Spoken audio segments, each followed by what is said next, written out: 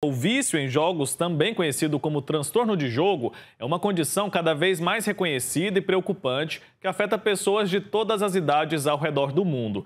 Esse vício não se limita a jogos de azar como cassinos e apostas, mas inclui também videogames e jogos online. Eu convidei a psicóloga Rosângela Cassiano para conversar comigo e nos ajudar a entender mais sobre esse assunto. Ela está conectada aqui com a gente. Doutora, bom dia, bem-vinda.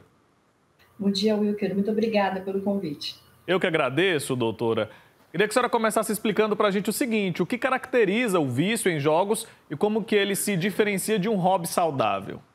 Sim. É, toda vez que a gente pensa em vício, a gente tem que lembrar que vício está associado à dependência, né? Então, se eu estou dependente daquela, daquela situação, isso já está caracterizando que realmente eu estou sem controle, eu não consigo dar o tempo certo, né, para estar ali praticando aquilo como algo agradável, eu perco o controle do meu tempo, eu perco o controle da, das minhas outras atividades, isso começa a interferir no meu sono, começa a interferir nas minhas relações sociais, profissionais, começa a interferir em tudo na vida. Então, a partir do momento que não está te fazendo bem, que está atrapalhando a sua vida de uma forma geral, pronto, já estamos falando em vício é diferente daquela pessoa que tem o hábito de jogar esporadicamente, que consegue manter um controle e fala, poxa, eu estou aqui com uma hora aqui de, de tempo, então vou aqui praticar né, um joguinho eletrônico é, por diversão, por apenas para que está passando o tempo. Né? Então, realmente, a gente pensa em vício sempre quando há uma dependência total emocional,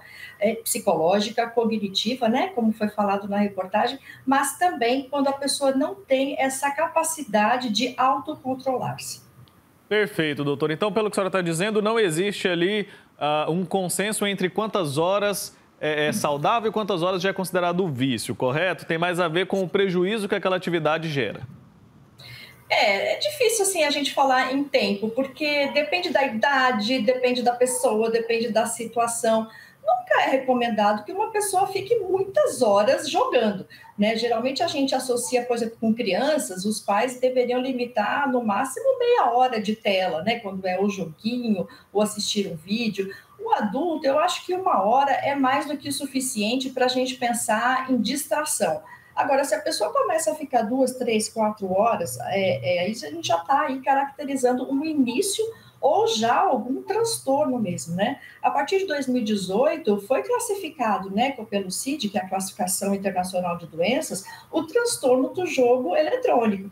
Então, assim, a pessoa que fica é, com essa dependência que precisa fazer aquilo todo dia, toda hora, o máximo possível de tempo, ela já está vivendo um transtorno. Quando a gente pensa em transtorno, a gente está falando de saúde mental, então a gente está falando de problemas né, de doença mental, que se não for tratado, realmente vai trazer grandes consequências, especialmente aos jovens. Né? É, todo mundo está na iminência de, de sofrer disso, de passar por esse tipo de situação e de desenvolver o vício e o transtorno mas especialmente os jovens, os adolescentes e o jovem adulto, até pelo seu cérebro não estar completamente ainda né, formado, ele tem um sistema de recompensa muito alto ao jogar.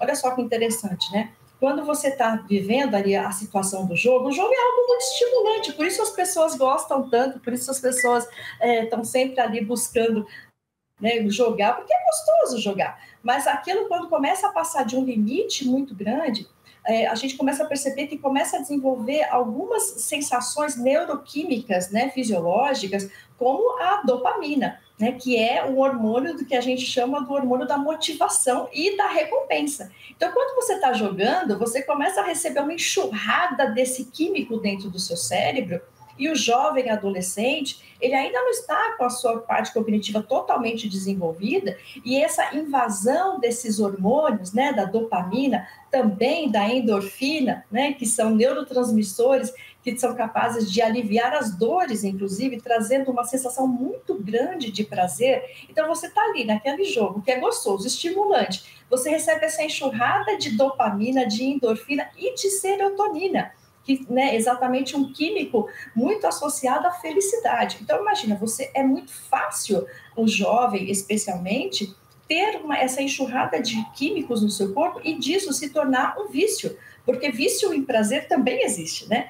Então, é muito preocupante e os pais devem ficar muito alertas porque eles mudam o comportamento. Agora, quando a gente pensa em adultos, né, quantos idosos a gente vê que ah, não sai do bingo, né, tá sempre ali jogando.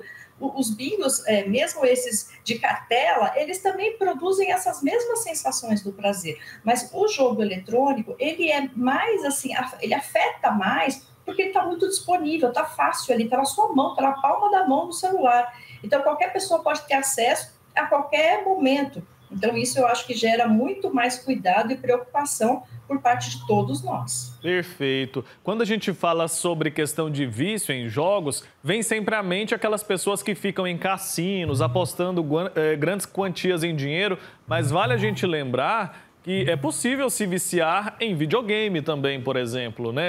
É possível se viciar em algo assim que não traz uma recompensa financeira.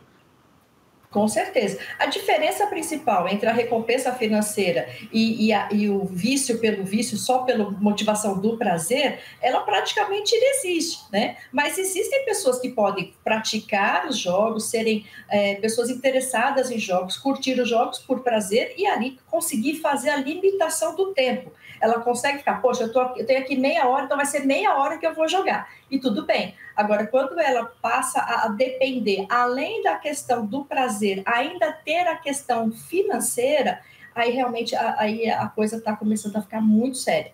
Porque quando envolve dinheiro nos jogos de azar, a, a recompensa ela não só é é, emocional, física, mas ela é, ela é, aliás, ela não é só emocional, mas ela é física, né? Porque você consegue ali ter acesso àquilo. E o que nem sempre, como a gente tem visto nesses vários jogos, é, que é, a recompensa financeira ela é virtual. E muitas vezes, até quando a pessoa quer sacar, não consegue, como a gente viu aí recentemente naquele jogo, que trouxe tanta confusão porque as pessoas elas vão ficando cada vez mais motivadas, cada vez mais interessadas percebendo que está ganhando mais e isso vai aumentando. Eu acho bem preocupante é, essa situação da gente ter a liberação dos jogos é, no Brasil, porque já existe né, esse fenômeno acontecendo. Claro que pós-pandemia eu acredito que isso piorou muito, porque na pandemia as pessoas tinham muito tempo e descobriram muitos jogos, né, jogos eletrônicos, mas a recompensa, ela sendo química, emocional, psicológica e ainda financeira, é, é, é um prato cheio para a gente desenvolver aí uma epidemia de viciados em jogos. É, e é possível afundar a vida de uma pessoa, né? Mentalmente, financeiramente. Esse jogo que a senhora mencionou aí, aquele famoso jogo do tigrinho, né? Isso até hoje tem Sim. repercussões muito grandes, principalmente nas redes sociais. Gente famosa fazendo propaganda disso. É importante a gente fazer esse alerta para quem nos acompanha. É muito perigoso. A gente tem visto gente com muito prejuízo, gente que teve que vender imóveis, uh, que acabou vendendo imóveis para apostar o dinheiro ali, perdeu tudo que tinha. É, vi uma reportagem, inclusive, com a mulher precisou vender o sofá da casa dela, porque ela se endividou e aí não tinha como pagar essa dívida porque gastou o dinheiro lá é, nesse jogo do Tigre. Então, assim, os prejuízos são imensos os influenciadores aí têm uma responsabilidade muito grande, inclusive a legislação devia estar olhando para isso com mais rigorosidade, mas a gente precisa sim todo mundo se proteger e se atentar, né, a essas questões. Nada vem fácil na vida, né, doutora? Como que a gente faz para tratar uma pessoa que chega num extremo como esse, de se endividar por conta de jogos? Pois é, né? Quando a gente percebe que a pessoa está nesse extremo, né, de chegar a esse ponto de se endividar, é porque realmente ela perdeu totalmente o controle e possivelmente está acontecendo dentro dessa pessoa outros outros transtornos. Essa pessoa ela pode estar vivendo ali alguma algum estresse, algum efeito de burnout por trabalho. Ela pode estar desenvolvendo ali, talvez, um transtorno de ansiedade associado ao transtorno do jogo. Ela pode ter até uma depressão, possivelmente há outras coisas envolvidas nessa pessoa para que ela esteja com esse comportamento. Então, é muito importante os familiares ficarem atentos, perceber se houve uma mudança de comportamento dessas pessoas, né? Especialmente os jovens, mas também os adultos, né? É, se essa pessoa está ali, não quer, não, mais, não quer mais conversar, não quer sair. Antes ela fazia, praticava atividades físicas, ela gostava de ir ao parque, gostava de encontrar pessoas, e de repente ela está trancada em casa, ela não quer mais fazer nada.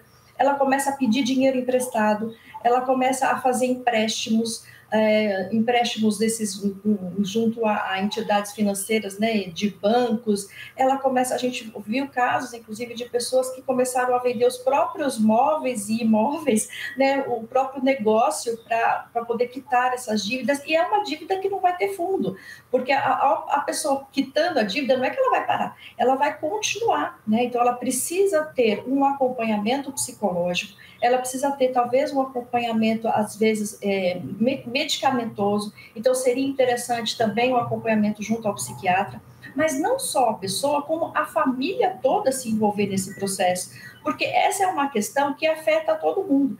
Muitas vezes as pessoas que desenvolvem esse tipo de transtorno e vício, elas trazem características às vezes de hereditariedade.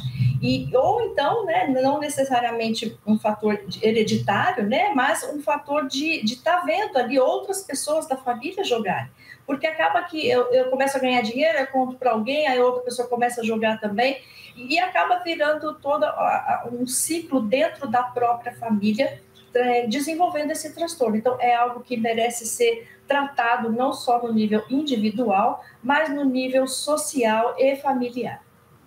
Tá feito o alerta, doutora. Muito obrigado, viu, pela sua participação, por nos ajudar a trazer informação importante para quem está em casa Tome cuidado, tome cuidado com a forma como você lida com essas tecnologias, com esses prazeres, né, que a, esses jogos podem proporcionar. É fundamental que a gente se proteja, se preserve e tenha muita responsabilidade. E em caso é, de perda do controle, é fundamental, como a doutora falou, buscar a ajuda de um profissional para se livrar dessa situação. Até a próxima, viu? Um abraço. Até a próxima. Muito obrigada. Um abraço. Tchau, tchau.